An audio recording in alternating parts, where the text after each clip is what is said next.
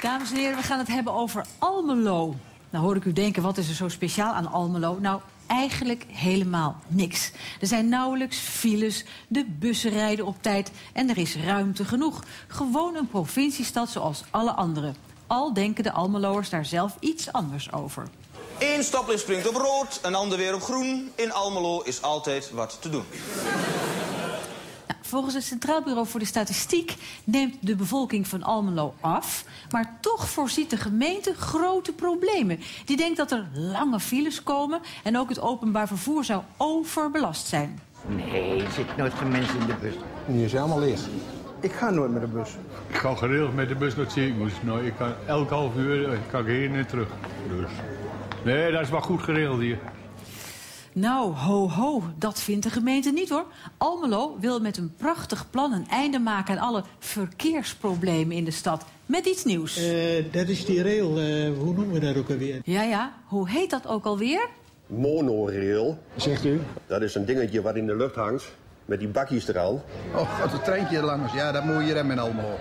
Treintjes. Mensen bijvoorbeeld van het station zo snel mogelijk eh, naar het ziekenhuis vervoeren. Ja, u hoort het goed. Almelo moest een monorail. Een ambitieus plan waar natuurlijk een prijskaartje aan hangt. Op televisie maakt wethouder Sjoers bekend wat het project zou gaan kosten. Met dit systeem eh, vraagt dat een investering van 40 miljoen. Uh, en dan heb je een exploitatie die kostendekkend is. Dat is dus buitengewoon goedkoop. Een buitengewoon goedkoop systeem om de vervoersproblematiek in Almelo op te lossen. Een probleem dus dat volgens de Almeloers helemaal niet bestaat. Meneer Sjoers, waarom moest dit er komen in Almelo? Ik wil Almelo een stap vooruit brengen. Ik wou de kansen voor de inwoners van Almelo vergroten. Met een monorail? Wij spraken over een mini-monorail. Mini-monorail of gewone mo monorail? De Almeloers hadden er zo hun eigen mening over. We hebben Almelo dat nou nodig? Om dan van het centrum naar de woonboulevard te gaan? En hoe wil je de woonboulevard? Zo, zo modern is Almelo niet. De volgende halte is het Twenteborg ziekenhuis. Vergeet de rolstoel niet. Allemaal onzinplannen. Alleen maar wat geld kost. Pas op voor het afstapje, anders gooi je. De Almelo vond het, vond, het, eh, eh, vond het maar niks. Oh, echt? Maar hoe komt zo'n wethouder daar dan bij? Nou, de heer Sjoerds is op eh, vakantie geweest in eh, Amerika. In Boston, geloof ik. En daar zag hij allerlei mooie eh, futuristische wagentjes en bakjes door de lucht gaan. En eh, toen dacht ik, ik denk dat hij toen op het idee gekomen is om dat ook in Almelo te gaan doen. Nee, nee het is echter gekomen van, eh, eh, vanuit een congres in Aken...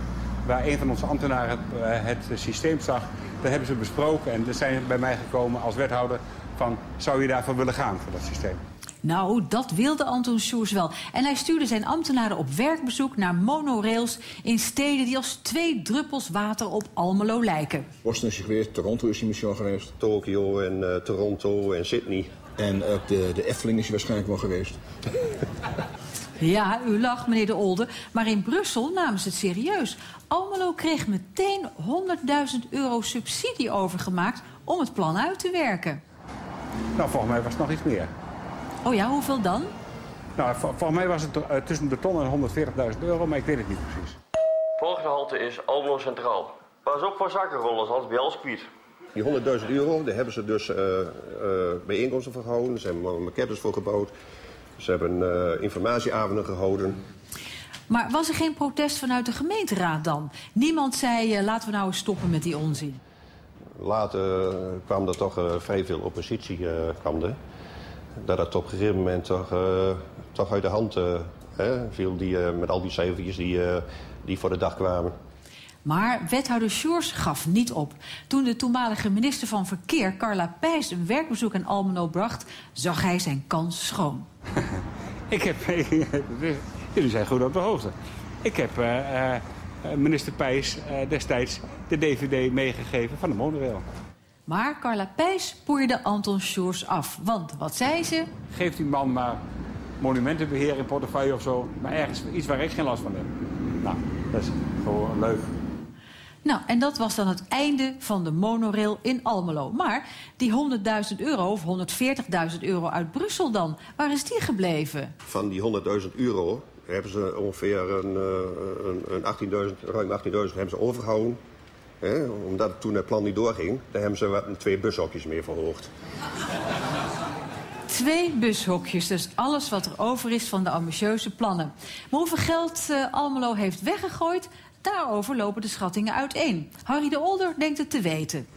Naar mijn, uh, onze berekening, nou, ik denk toch wel tussen de 3 en 4 ton. Dat het Almeloze gemeenschap wel heeft gekost.